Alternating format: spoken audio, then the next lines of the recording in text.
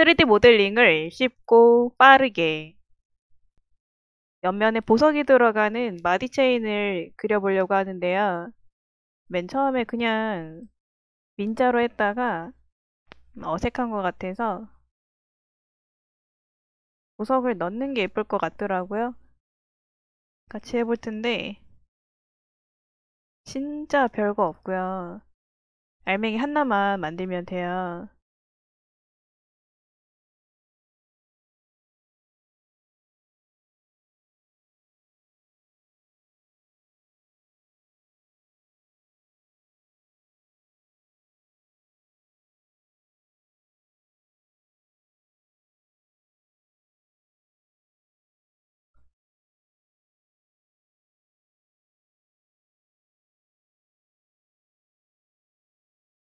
지금 대충 보시면요. 우선에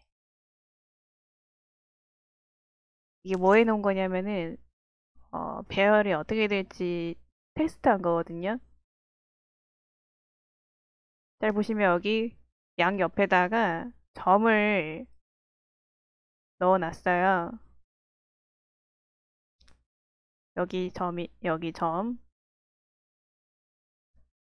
그리고 복사 점에다가 우클릭 점 클릭 점 클릭 이렇게 한번 배열해 본 거예요.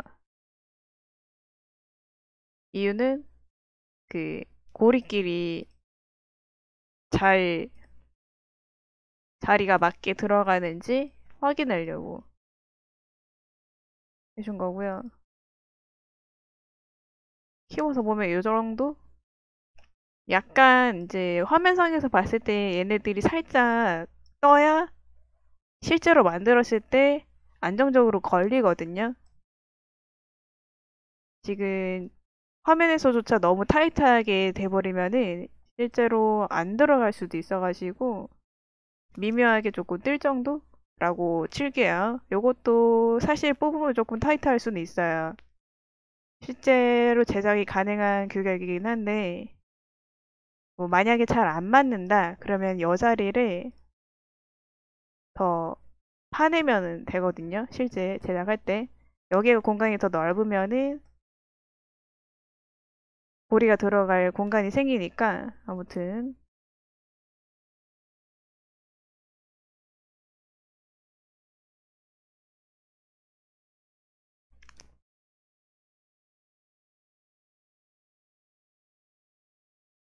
일단 요거 아주 간단하게 돌출시킨 다음에 right view에서 V자를 만들어 가지고 차집합을 해준 상태고요. 일단 이 V가 중요해서 이거 먼저 볼게요. 고리끼리 잘 걸릴 수 있게 여 자리는 좀 파줘야 된단 말이에요. 그래서 차집합을 해주는 거죠. 이거 필수. 그리고 이런 부위들은 제가 어, 취향이 좀 이래서 파이프 해줬고요. 가장자리 짚어가지고 지름을 한0.5 정도 해준 거예요. 이런 식으로. 그리고 고리 사이즈 먼저 좀 볼게요. 얘가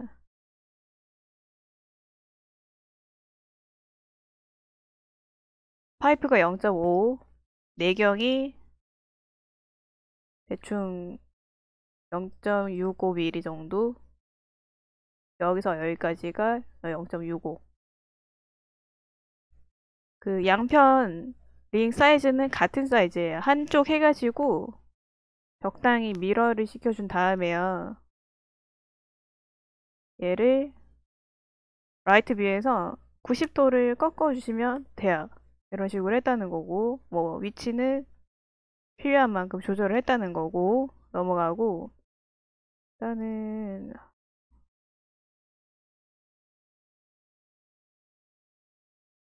요거 아 요거. 막대기는 제가 선을 얇게 투영을 해가지고 그러니까 적당하게 짧은 선을 그려주고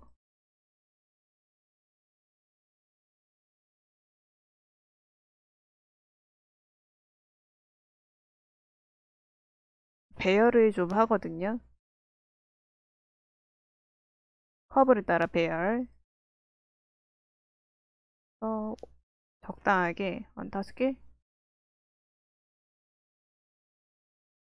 한 번씩 왼쪽으로 가거든요. 내가 이쪽으로 가, 가게 하고 싶은데 한 번씩 반대쪽으로 가서 그냥 무시하고요. 빈 공간에서 하고 어, 옮겨 오시면 돼요. 적당하게.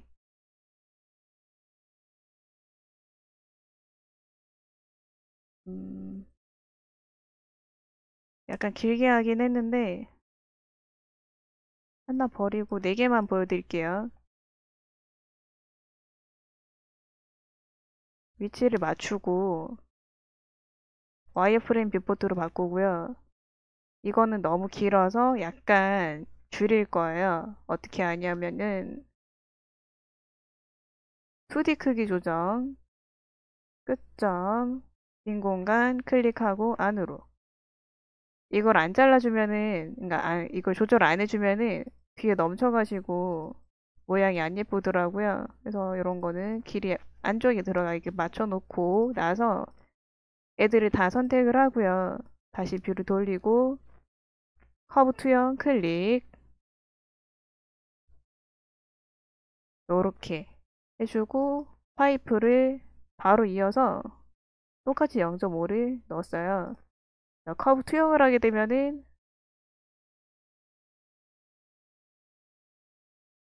앞 뒤로 다 똑같이 들어가거든요. 그리고 커브 투영한 다음에 바로 파이프를 실행하면은 앞뒤 다 적용이 돼요.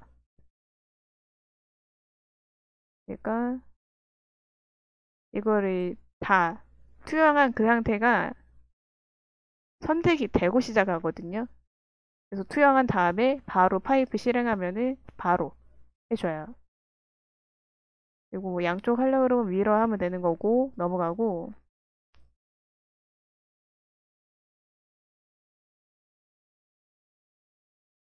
이 상태는 제가 그룹을 지어 놓은 상태예요. 요거 풀고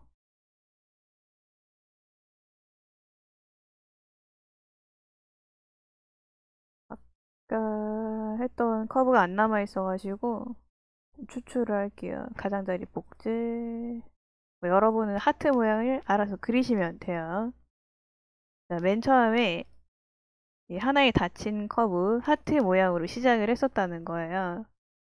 근데 지금 보시면은 꺾여 있죠. 이게 아까 이제 꺾인 모양 그대로 땄기 때문에 꺾인 거고 이런 모양을 펼칠 때는 구성 평면에 투영을 실행을 하시면 돼요. 해당 view를 기점으로 해서 0점 기준으로 펴주거든요.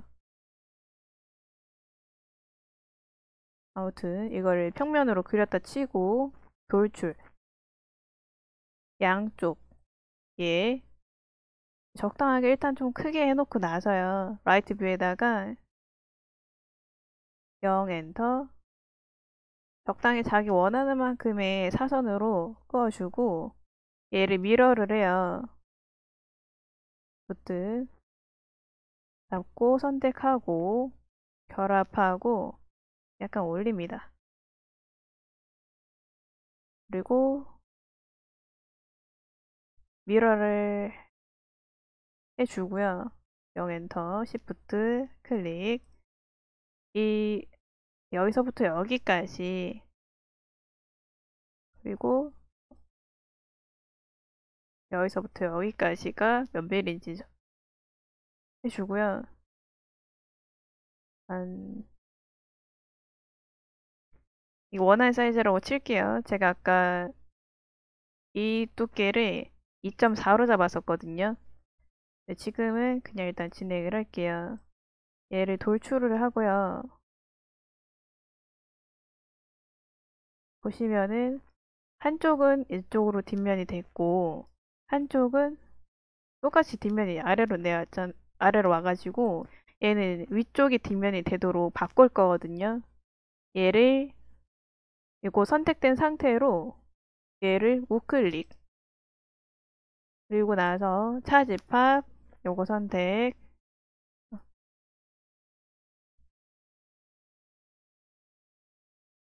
이렇게 해주시면 돼요. 이런 식으로 했다는 거고요. 넘어가고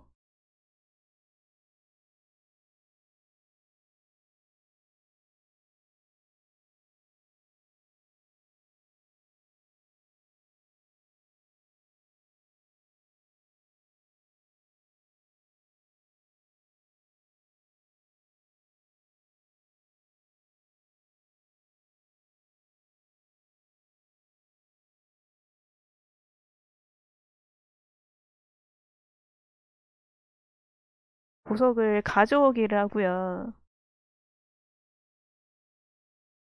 제가 여기 1.2mm를 넣었었거든요.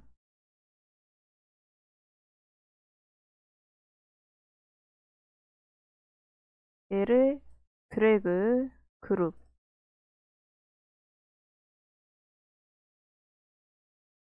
점에다가 우클릭 surface상으로 방위 지정이에요. 점 클릭 마우스 아래로 시프트 배치할 surface 확인 복사 예 해놓고요. 음, 보시면 그냥 이렇게 얹으시면 안 돼요. 까먹고 선을 투영을 안 해가지고 직선을 하나 그리고요. 커브 투영 해주시고 다시 서피스상으로 방위 지정 면 선택 확인 복사 얘는 꼭 해주셔야 되고 근처점 해놓고 적당히 가운데로 생각되는 자리에다가 클릭하고 그냥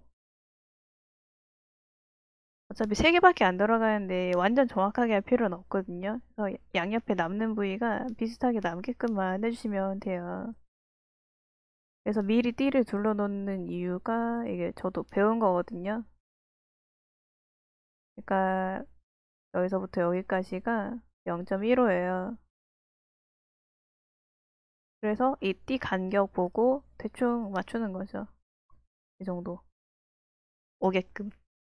그리고 남바를 제가 아까 썼던 게 어, 요만큼 0.45를 사용을 했고요. 얘도 그룹을 좀 지어놓고 방위 지정 점 부트 클릭 면 선택 확인 교차점을 일단 클릭을 해요. 한 개, 두 개 일단 해놓고 엔터 얘네 둘이는 먼저 위치를 좀 잡아 놓고요. 어, 여띠는 어, 이거는 0.1 간격으로 해놓은 띠거든요. 이 테두리에 0.1 정도는 떠 있어야 나중에 안 붙어 나오거든요. 이게 붙어 나오면은 되게 quality가 떨어지기 때문에 0.1 정도는 태에서 멀게 그리고 mirror를 시켜주고요.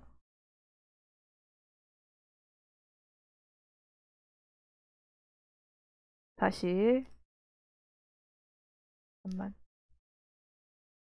이거 할 때는 약간 귀찮아도 점에다가 우클릭 해주셔야 깔끔하게 잡혀요.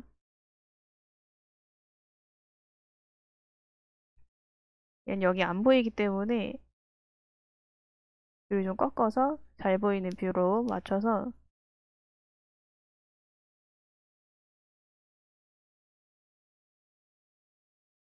이때는 front랑 이 perspective view랑 같이 보는 게 좋아요.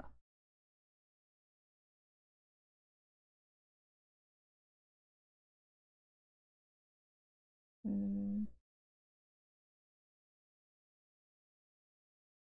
이 정도?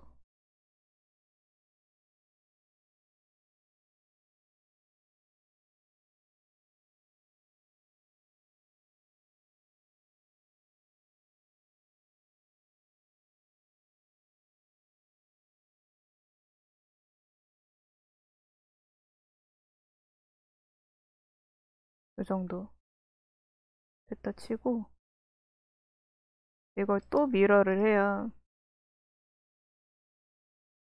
이렇게 하면은 배치 자체는 끝났고요. 얘를 또 미러를 해야겠죠? 양 옆에 오게끔. 자,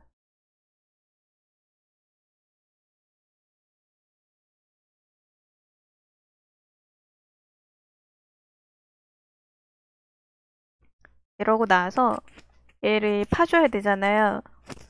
차지팝을 선택하고 요거 잠만 얘 선택 남발을 여기서 선택을 해요.